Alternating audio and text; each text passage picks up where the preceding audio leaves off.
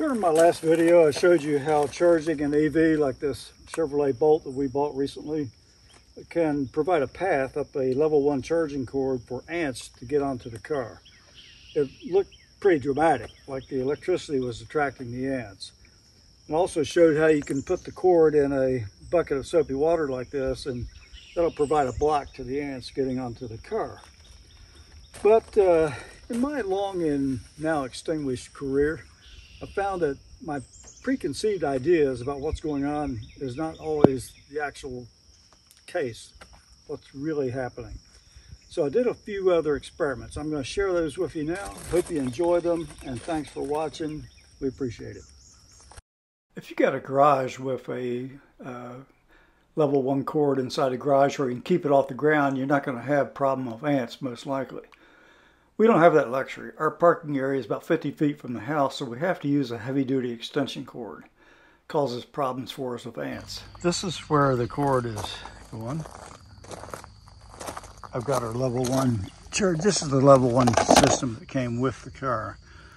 Um, I've got it plugged into a 30 amp cord, even though we're only drawing about 12 amps. But I just keep this covered up to um, keep the weather off of it. Can you see an ant on that cord? You can see there's one there, there. Oh yeah, ants all over this thing. They're definitely coming up the cord. A little hard to focus on that cord they're coming and going. Look, look at this one. Everyone goes, one's going down. They're coming and going. Fascinating. I fully charged this bolt yesterday on a level two charger we have down in our metal building.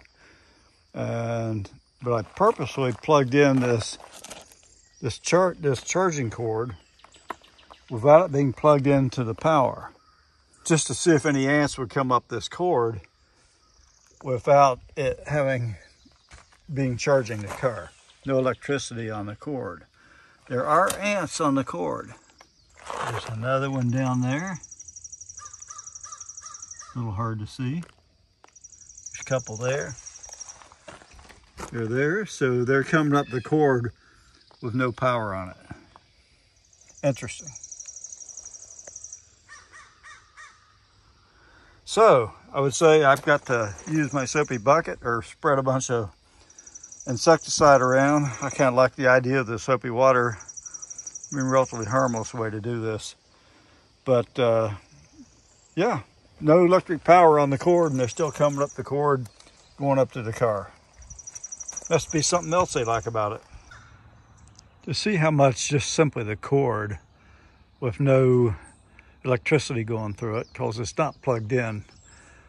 Um, and this is just an old 2007 Ford Focus, obviously not electric. I've just got the cord, this level one charging cord draped over the mirror and this is set here overnight. Mean, you can see there's ants all over it. So ants naturally forage and are looking for stuff and, uh, and they're all over the car.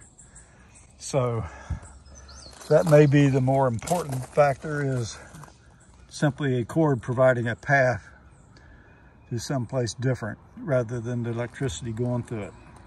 It's kind of looking like that now. See, they're, they're, they've crawled all over the car.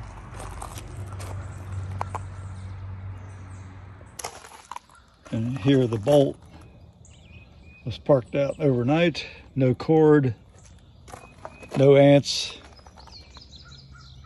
So we'll continue looking at this, but it's looking like it's mainly just the cord providing a path up to the car. All right, we put just this yellow extension cord, pretty heavy duty cord. It's about plugged in and uh, we'll see if ants come up it. It's going through the same place on the ground is the uh, level one charger. So we'll see what happens. Just to verify, this cord is not plugged in.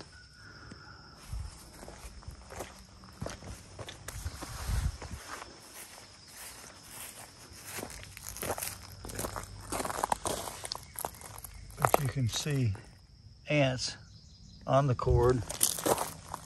Look at this.